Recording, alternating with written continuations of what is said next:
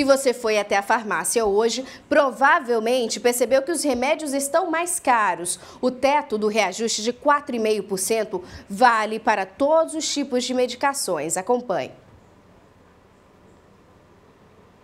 contínua, embora seja um medicamento até em conta, os 4,5% a mais no valor vai fazer diferença.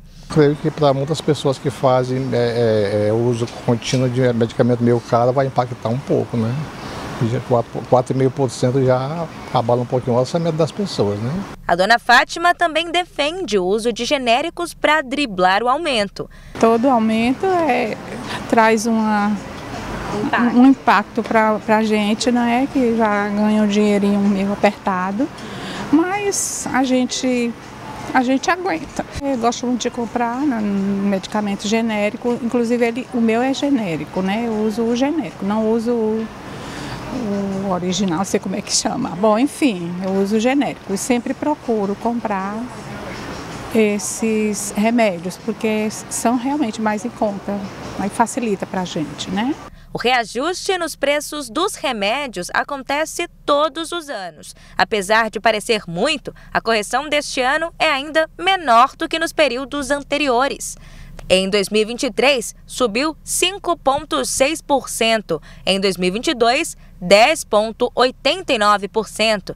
Em 2021, 10,08%, conforme a Associação Brasileira de Redes de Farmácias e Drogarias todos os anos, né, existe um percentual de reajuste para todos os laboratórios.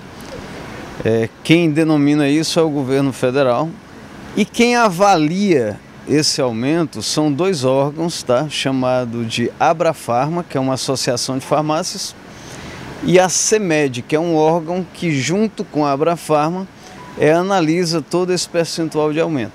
O que, que eles levam em consideração? aumento de mercadoria em geral, tá? É, ICMS, dólar, imposto, matéria-prima. Então, avaliando tudo isso, eles chegam a um percentual de aumento anual do medicamento que acontece dia 1 de abril. Além do aumento anual, o preço subiu também por conta dos impostos. Em 2024, 11 estados tiveram reajuste no ICMS, que incide diretamente no preço dos medicamentos. Mas, no Piauí, a nova alíquota de 21% já está valendo desde o ano passado. O Piauí aumentou o ano passado, né? De 18 para 21. E esse ano o Piauí está de fora. Então o Piauí está de parabéns além de termos um, um dos menores aumentos desde 2019, ainda não temos o reajuste do ICMS. A dica, conforme o presidente, é fazer igual o seu Higino e a dona Fátima, pesquisar e aproveitar as promoções. O conselho que eu dou todos os anos é prestar atenção nas promoções das farmácias, tá? principalmente para aquele consumidor que tem uso é contínuo de medicamentos, tem que comprar todo mês, né? que é o remédio para pressão, diabetes. É, os laboratórios eles fazem promoções que chegam até 10, 15, 20%. Então, se o aumento é 4,5%, você tem um desconto de 15%, você está economizando. Outra coisa muito importante é a, você aderir para o medicamento genérico, porque tem muita gente que tem preconceito com isso.